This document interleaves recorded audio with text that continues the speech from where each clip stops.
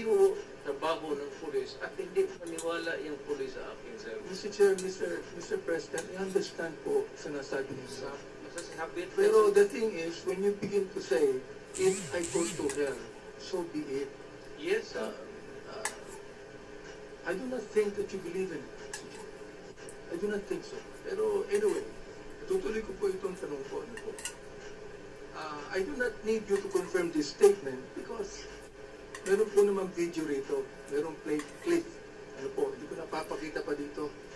But you said publicly, and I quote, if you are corrupt, I will fetch you using a helicopter to Manila and I will throw you out. I have done this before. Why would I not do it again? Now, I would like to just mention the words, I have done this before. Why would I not do it again? So, nafe-feel ko po, sir, that uh, you are justified in doing so. Basta sa tingin nyo, corrupt. Yes, sir. Hindi po ba? Hyperbole yun, sir. So, uh, uh, Mr. Hindi Chair, papayag ang piloto niya, sir. Eh, ikaw, ganun po, ganito, Mr. Chair. So if you feel just justified in doing it, can you please name to us the victim? Sino po yung tinapon ninyo sa helicopter? Sinabi niyo po eh, I will, uh, I have done this before. Why would I not do it again? Sino po yung tinapon ninyo? Can you please at, uh, tama sa dating Pangulo na magsalita ng ganyan. Sapagkat naniniwala po ako na kahit sabihin niyo po yung mga kiling-kiling, meron pa rin kayong compassion eh. Tumutulong kayo sa ating kapulisan. Tumutulong kayo sa mga nangangailangan. Meron pa rin kayong compassion. And I would even think today that your compassion even overcomes your, th- your thought of killing someone else. Sir, al- this this world is uh, there's the evil and there's the good. So, if you are a human being dito, you do so many things in life. Mamili ka lang between the right at yung mali. Opo. So, pag pinili mo itong mali, you are bound by what you do in this life. Tama yun, uh, Mr. Chair. Tama po yun, ang inyong statement. Pag pinili nyo ang mali, ito po ang tanong ko. Tama po ba ang pumatay? Kahit po, teka. Tama po ba pumatay? Kahit alam nyo, ha, na ito ay tinatawag sa batas. Ako hindi po abogado po. Tinatawag sa batas na in flagrante delicto o in the act of committing a crime. Oo. Ngayon, I have kung, proven that, sir. kung, kung po yan, susundin po natin, eh wala po kayong pinagkaiba sa pariseo nung panahon ng Panginoong Yeso Kristo. Nung ang pariseo nakahuli po ng isang babae that was caught in the act of adultery, they are about to stone them. Stone her. Papatuhin na po. O nilapit po sila nila kay Kristo at sinabi po nila sa ating Panginoong Yeso Kristo, O, anong gagawin mo dito? Sapagkat ayon sa aming batas, in flagrante delicto ito, dapat to batuhin hanggang sa mamatay. Ano pong ginawa ng Panginoon? Mr. President, Mr. Chair, siya po ay sumulat doon sa ground. Wala siyang sinabi, sumulat lamang po sa ground. Nakita mo ng mga pariseo ang sinulat. Isa-isa po silang umalis. Bakit po? Palagay ko, ang sinunod mo ng Panginoon, yung mga kasalanan ng mga pariseo, hypocrisy, corruption, lahat po. Ngayon, naiwan po doon yung babae. Ah, that was caught in the act of adultery. Ang sabi po ng Panginoon sa kanya, ah, where are your accusers? Ang sabi po ng babae, none, Lord. Ang sabi po ng Panginoon sa kanya, neither do I condemn you. Go and sin no more. Hindi ho ba mas maganda yung salita ng ating Panginoon Mr. Chair, Mr. President? Hindi na ako papatay, sir. Retired na ako. eh.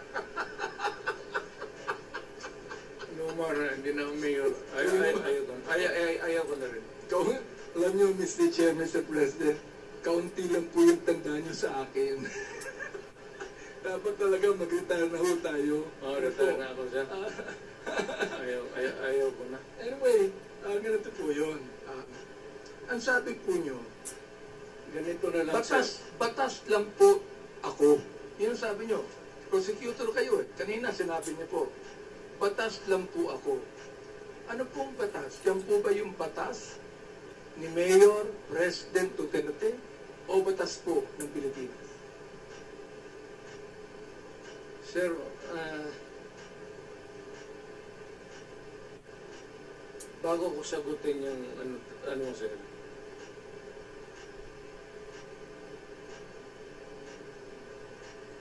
kung may kasalanan man ako, ayaw kong pumunta ng impyerno. Salamat po. Pastor sir, tulungan Pero, mo lang ako. Mr. Chair, hindi po ito confessional. Ano po? Ito po ay quadcom hearing. Eh, eh, pagdasal eh. Well, of course, eh, you're dual, dual uh, ipagdasal mo na lang rin ako, sir, kasi alam mo man talaga na Mr. President, lang bago niyo po sabihin niya, pinagdadasal ko po kayo. Salamat. Totoo po yan. Totoo po yan. Hindi po dasal na ama namin, ha? Hindi po dasal na our Father. Ito po ay dasal coming from the heart. Salamat, Tulad sir. ng aking nabanggit sa inyo kanina, coming from, from the heart. Opo, ngayon. Sinabi po ninyo rito, ha? mas mabuti pa na makulong ka at maghirap ka sa kulungan. Eh bakit po kayo pumapatay? Mas mabuti pala na makulong tong mga hayop, ay, sorry po, ha? Ah, itong mga drug lords na ito, o mga drug pushers na ito, bakit po sinasabi nyo kanina pa na pumatay kayo ng tao? Sana pinukulong, na- pinukulong la lamang po ninyo. Ano po? Sige. Ah, the records of the police will uh, bear me out. Few instances, eh, pero karamihan yan, may hawak talaga ng nang i-confront ko yung mga yan, sila, with the police of course, kasama ko. Okay, nang, kidna, yung sinabi ng kidnapper. So, three of them, uh, nasasakyan sila, sir, may carbine. Ako naman, eh, ang hawak ko 45.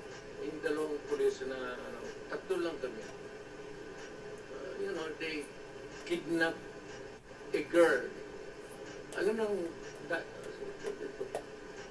kinidnap nila, dinala nila sa Cotabato for one month, detained her, detained her, and repeatedly raped them, the rape, uh, uh, uh, uh, seven of them, and finally went back to Davao City.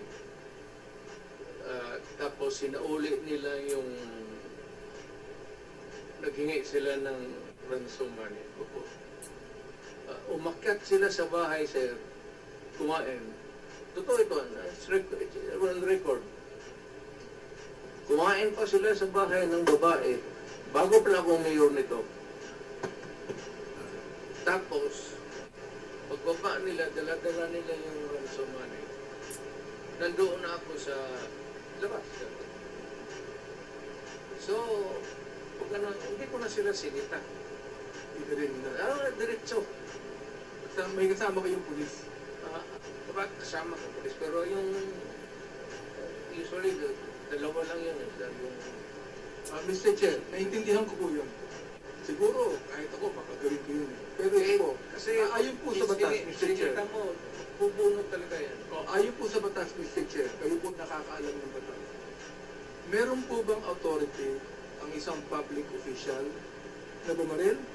O yung pong pulis lamang ang dapat bumaril? Anybody, any person, Anybody. any person who is uh, uh, uh, a victim, put up may baril ka, lumaban ka, because that's self-defense. Any person has the right to defend himself. himself, his physical being, and his property. Pero ito pong kwento nyo kanina, Mr. Chair, hindi naman nyo dinedepensa ng sarili nyo. Hindi naman kayo ang nirape. Oo, ito po ha, ito. Binaril nyo bigla. Binaril nyo bigla sapagkat alam nyo gumagawa ng krimen. Naunawaan ko po yun. Ba, kahit ako, baka gawin ko. Pero ang gusto ko lang po malaman, ayon sa batas, hindi naman nyo dinidepensa ng sarili nyo. Meron po ba kayong karapatang pumaril sa isang kriminal na hindi naman kayo ang target, kundi iba? Kung walang nakatingin, sir, barilin mo na. At ako nang mismo I will uh, appear as your defense counsel. O ito po, Marunong ako din, sir. Ito po ba? fiscal. Mr. Chair, hyperbole pa po ito to. Sinabi po nyo, nung kayo ay mayor ng Davao, ha, that you would patrol the streets in your big bike looking for trouble. Sabi nyo. Yeah. Oo. Oh, talagang naghahanap kayo ng enkwentro. Walang- Walang mga patayin po ba yun? Hindi sa hindi sa inosente, sir. Oo. Mga kriminal, ba- bakit mo daw? Mayor ka dapat maghanap hindi po to hindi po to hyperbole. Totoo po ito. Kasi looking for trouble eh. Kayo po ay nagbabike looking for trouble. Yes, sir. Oo. Mukhang, mukhang mali po yata yung ganong salitang looking for trouble, di ba? Siguro mas maganda kung looking for criminal. Tama ho ba? Yun, looking for criminals. Yun ang mas maganda salita. Para magamit ko yung baril ko, sir. Ah, alam nyo, Mr. Chair, ah, Mr. President, ah, hindi po ako masyadong pushy sa mga tanong ko.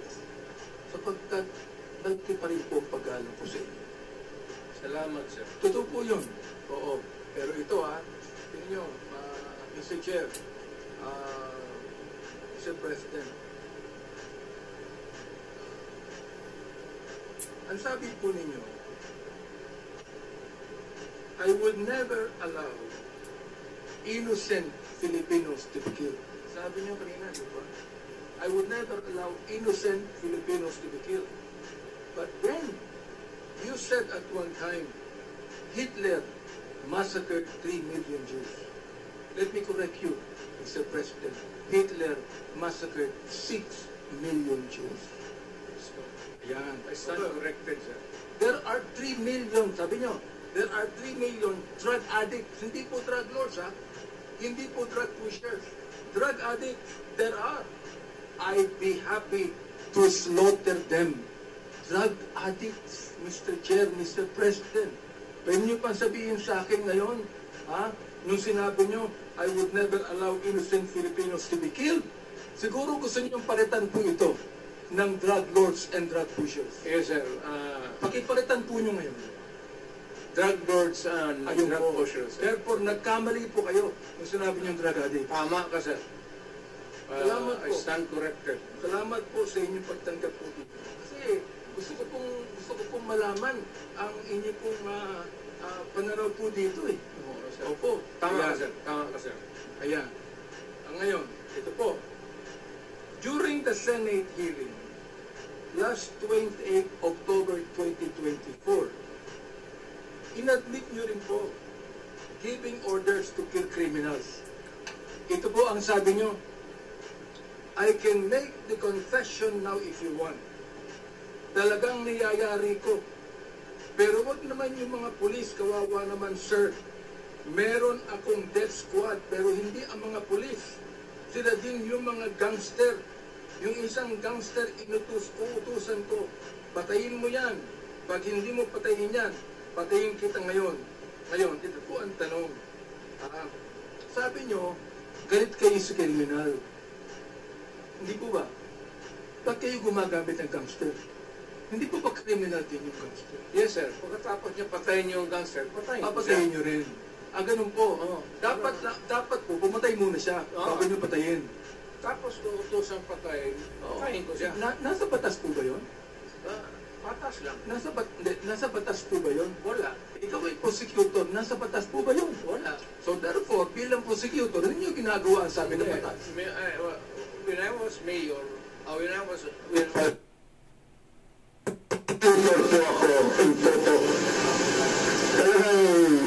I am bound by the road.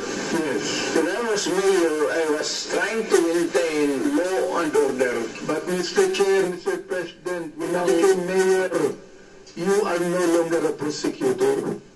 You are now a public official, Mr. President. And therefore, therefore, you must uphold the law of the land. Because we do not have a personal policy here. Our policy is a lawful policy. We must always, always, naniniwala po kayo dyan, correct me if I'm wrong, we must always uphold the Constitution. Hindi po ba? Yes, sir. Ayan. O, alam mo, ano pong pagkakaiba nyo sa vigilantes, for example? Ano pong pagkakaiba nyo sa vigilante? Na pumapatay po ng drug addict na nalalaban din. Ang mga, eh, well, uh, Ayan, sir, sige po. uh, Pakipal, uh, pakipaliwanag po sa amin. may classification yan, sir. Hindi ka basta-basta pumatay ng dr- drug addict. Yeah. You, you, you killed drug lords Yes, yes. and the purveyors of drugs. Ah, But you just kill addict, sir. Yung addict, ipadampot mo sa police, ipadala mo sa doon sa uh, the rehabilitation center. Ah, sa totoo lang po. Alamin mo ang nanay tatay na doon mo deliver yung bata. Sa totoo lang po, Mr. Chair, ito ha, because of your pronouncement na shoot them dead, na-embolden po ang ilang mga pulis natin pumatay. Because it was the order of the uh, uh, of the president himself, who is actually the commander-in-chief of the Philippine National Police. So therefore, but Mr. Chair, Mr. President, when you ordered, when you said, shoot them dead, shoot them dead, it emboldened some of the policemen to kill. Am I right, Mr. Chair? I am saying it again. You shoot them dead? All right. Yes, sir. Therefore, Right. Your policy of shooting them dead and the policy of the policemen in killing them is different because you said in the Senate that it is the policeman that should be uh, that should be accountable for this, not me. Because this is just a policy. But Mr. Chair, Mr. President, because of that policy, some of those policemen killed In fact, Mr. Chair, nung kami po ay nagkaroon ng hi- unang hearing dito ng Committee on Human Rights, meron po kami inibitahan na apat na mga PO4, SPO4 lang po ito. Mga talagang ano po, non-commissioned officer. Nakasama nila ang isang major. Sabi ko sa kanila, nakapatay ba kayo? Ang sabi nila, hindi. Okay. May tinanong ko, pero gumamit kayo ng baril at bumaril kayo. Ang sabi nila, meron kaming nabaril. Okay, napatay niyo ba? Hindi po namin sigurado sapagkat marami kaming binaril. Marami kaming nabaril. Ito po yung tanong ko ngayon. Sabi ko, bakit niyo ginawa yan? Anong sabi nila? Ito po ang order sa itaas. Yun po ang sabi. Now, of course, you do not even know that, Mr. Chair. President. Ito po ang order sa itaas. Tama po ba ang ginawa ng apat na pulis na yan sa kayo Pagka lumaban, Hindi po lumaban eh. Ah, hindi. In fact, in fact, yung isa buhay po, hindi lang maibitahan dito, ayaw po pumunta eh. Hindi po tama. that's the, about the only time that uh, a policeman can legally kill another human being is when he is confronting a criminal and is armed and it must be commensurate doon sa baril por baril. Oh, ito po. Kung batuta lang ang hawak mo mo, eh, barilin mo na lang sa Oh. leeg or ba't barilin mo yung paa. Uh, Mr. Chair, uh, Mr. President, ito po. According to the uh, data that was given to us by the Philippine National Police, by General Baca himself, na ang sabi rito, 7,173 Pushers were killed. Now, Ang sabi po ay nanlaban. Pero gusto namin pumunta ron sa Philippine National Police. Tingnan po namin ang crime lab kung paano po nanlaban ito. Ito ba yung nakipagsuntukan lang? O nagkaratihan lang? O may baril? Bakit kung 7,123 pusher ang napatay, ibig sabihin ng laban, dapat meron din pong 7,173 na baril ang nakuha ang Philippine National Police. Tama po ba ako? Depende, sir. Not really gun. It could be a knife. Knife. Okay, okay po. It, it could be a, a, a, a, something that would be lethal. Aha. Uh, uh, tubo or uh, inamin po ng National Police na wala silang ganun karaming ebidensya. O, ng 7,173. For example, 440 users. Ang sabi niyo kanina, dapat tulungan yan. Dapat rehabilitate po yan. Pareho po tayo ng pananaw dyan. And by the way, Mr. Pre- Mr. President, naniniwala po ako sa inyo sa drugs. Ayaw ko po ng droga. Alam ko po ang magiging kapalit niyan sa mga kabataan. Pero hindi ko maintindihan kung bakit kinakailangang mamatay ang more than 20,000 people upang magapila mga drugs. Pero after he became president, Mr. Chair, may drugs pa rin eh. Hindi pa rin po nawawala. Ako'y nagpapasalamat because in your time as president, wala na po yung manufacturing ng shabu sa Pilipinas. Naipasara niyo lahat yan. Ano pong pumalit, Mr. President? Smuggled drugs galing sa China.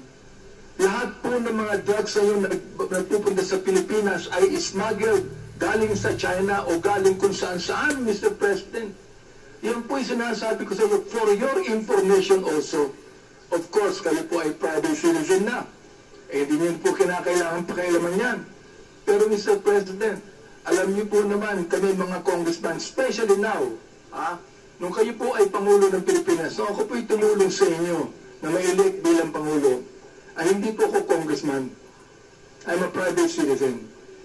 Tumakbo uli ako ng 2019, naging congressman po ako.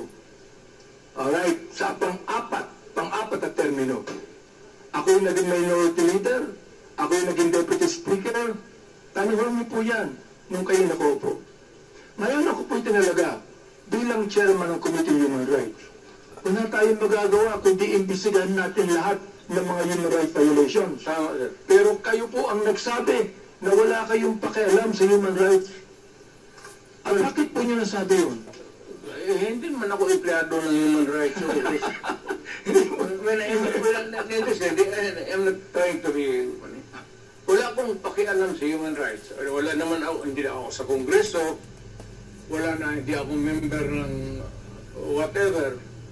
Wala ako, ma- malayo ako sa human rights. So, Mr. wala Chair. akong pakialam. Pwede ko pang sabihin sa inyo na mali kayo. Bakit? Kayo ang Pangulo ng Pilipinas. Meron kayong pakialam sa human rights. Mali kayo. Tama ho ba ako? Meron kayong pakialam sa human rights. Hindi lang kami, kundi ang Pangulo ng Pilipinas merong pakialam sa human rights yan. Oo. Kaya pati ang ICC nag-iimbestiga dito. Sabihin ko sa inyo ha, ako ang unang nagsabi na hindi ako magbibigay ng anumang dokumento sa ICC sapagkat if I do that, then I am surrendering the sovereignty of this country. Correct, sir. I appreciate it. Oho, totoo po yan. Sinabi ko po yan. Oh. Ah, sabi ko gusto nila mag-imbestiga. They do it on their own. But not use us in the committee. Opo. Ang, kina, ang kinakalungkot ko lang po, Mr. President, ah, mukhang nagsasalita po kayo na hindi po sang-ayon sa napag-aralan yung batas. Yung human rights po, nasa Constitution po yan. O, kayong tatlong abogado ni Mr. President, turuan nyo ang kliyente nyo. Oo, hindi ba sa Constitution yun? O, Atty. Belgra, hindi ba nasa Constitution natin ang human rights? Hindi na kailangan, sir, na hindi Kaya di po, sa sandali lang po, Mr. President, tatanungin ko lang po yung abogado nyo. sapagkat siya ay isang resource speaker. Nasa Constitution po ba ang human rights? Opo, sir. Ayun. Nasagot po niya.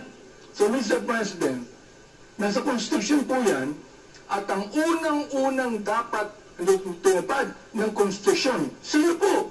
Kundi ang pinakatatay ng buong bansa. Correct. Hindi po ba? Correct. Therefore, nagkamali kayo sa ganong salita. Retired tatay ako, sir. Hindi ba eh? Kasi sabihin niyo sa akin, yung sinabi niya ng pa- Pangulo kayo, nagkamali kayo. Retired na po kayo ngayon. Hindi ko na ano yan. Pero nagkamali kayo ng ganong salita. Tama ako po eh. Masagot. I cannot debate with you on this, sir. No, but Mr. President, I will not allow you to debate on me. Because if you debate and argue with me, I will, um, I will even tell you that you're out of order. Because any resource speaker cannot debate with any member of the Quadcom. I, Ang inaano, ang tinatanong ko lang, Mr. Chair, Congressman ako, sir. Opo, opo. Natanong ko lang, eh dapat kayo po ang tumupad ng human rights bilang tatay po ng buong Pilipinas. Sinabi ni Atty. Delgra, Delgra ah, nasa Constitution po yan. Sinabi niyo kanina, wala kang pakialam sa human rights. May pakialam kayo. Sir. Hindi po ba, Mr. Chair? Magprangkahan tayo, sir. Opo, opo. Sige po. Pagka ganun talaga, may mayor ka, pagka criminal ka, mainit talaga ako sa iyo. Hindi po yung Pagka pinag- nag-rape ka, Mr. Chair, hindi po natin, hindi wala pong problema ron eh. Hindi ko, I am not actually, uh, yung pang, uh, disagreeing with you. I fully agree with you, Mr. Chair, Mr. President. But, still, being the President of the Republic, you must be the first man that should uphold the constitutional provision on human rights. Am I right, Yes. Yes, I okay. did it. Sal- Salamat po, inamin nyo. Ito ha, last question na lang ito. Okay? Ito po, ang napatay na drug lord, 21. 21. Akala ko po ba lahat po ng drug lord dapat patayin? Bakit 21 lamang? Ang pusher, 7,000. Samantalang napakarami pang drug lord na buhay ngayon nasa kulungan. Yun ang pinataktakan ko. Oho, bakit nasa kulungan pa? Sapagkat maraming pera yan? Pwedeng kumuha ng mariling na abogado yan? O dapat po, kung dapat patayin ang mga drug pusher, may napatay ng mga user, dapat lalong patayin ang mga drug lords. Mr. Speaker, Hindi Mr. dapat sir. Chairman, Uh, hanapan natin ang paraan na patayin natin. pero kayo po private citizen na, retired na po kayo. Wala na, Hindi sir. niyo po pwedeng gawin yan. You are right. O, pero magiging mayor kayo ulit, hindi po ba? Uh, well, uh, kung ang circumstances for the corporate, sir. I reti- gusto ko nang mag-retire. Pero kung magulo, magulo uli ang Davao, uh, I think that I have to enter into the picture again. Na, na, ayaw ko na, sir. Naniniwala po ako, Mr. Chair, that any government cannot be ruled with fear. But it can be balanced with fear and love, Mr. Chair. Because if you rule any government in fear, then those people will be afraid. But if you're gone, if you're gone, Mr. Chair, Mr. President, they will do it again. Because they're not, they're not doing it because of fear. But Mr. Chair, I know your heart, Mr. President. You have loved so many women. So you are bound to love. Eh, alam mo, marami nakikinig na. Nakikinig silang lahat. Sir, nakikinig You, you are bound to love. And therefore, ana, sana po, kapag kayo maging mayor uli, ha, nakita niyo na po yung pagkakamali ninyo na inamin niyo rito, sana po may pagbabago na sa Davao. Naniniwala po ako na kapag ang, ang ating rule sa Davao ay yung pagiging makajos, pagiging matapat, pagiging honest, ha, ay naniniwala po ako. Magiging maganda po ang Davao Sa lahat na bagay, sir, hindi mo ako, you cannot question that. Sa dedication ko lang sa trabaho ko, on any other ano, matter, sir, uh, honesty, everything. Salamat po. Isang question na lang. Sabi niyo kanina, nung kine-question kayo tungkol sa reward system, sabi niyo, hindi ako nagbibigay ng reward para patayin. Hindi po yun eh. Oo. Nagbibigay tayo ng, kayo ng reward nung napatay na. Hindi po para patayin. Iba po yung reward na para patayin, iba, iba, iba rin po yung reward nang nakapatay na siya. Eh, Tama mo ba ako? Bawal yan, sir. Kung, Ayun. Kasi binibili mo yung buhay ng tao. ha? Ba- that- that's, that, Salamat po. Yan, ang- yan ang even, pagkakaiba. even without the laws, that would be a, a violation of uh, Diyos. Y- yung pagkakaiba, Mr. Chair, ang pagkakaiba ng reward system para patayin mo siya at yung reward system sapagkat nagbigay ka ng babuya sa isang tao, nakapatay na po siya eh, ng drug lord. Nagtap, nagano po yan eh, nanlaban po yan eh. Oo. So, iba po yung ganun. Di ba? naman, sir? Ah, alam mo, sir, sa totoo lang, kung meron mang pinagka-tao na oh, talagang umaano sa Diyos, siguro talok, mas, ma, mas malamang pa ako sa iyo. Ang trust and faith ko sa God, kaya maybe that brought me to the presidency despite of uh, the variance uh, interpretation ng ano.